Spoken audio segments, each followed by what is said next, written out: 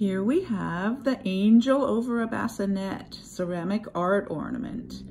This is an antique art reproduction on a ceramic ornament that shows a young angel in a blue dress who's playing lovingly with a baby in a Victorian bassinet surrounded by antique lace and pink flowers.